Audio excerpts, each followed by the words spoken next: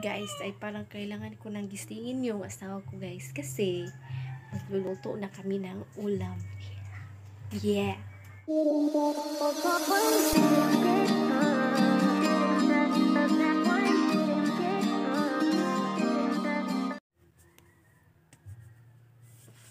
Dito ta sudan. Ta. Maghaling ta. Ito sa gawas. Let's go. Let's go. Magkakahoy kami guys kasi naubos yung butane namin guys. Kaya I need I need rescue.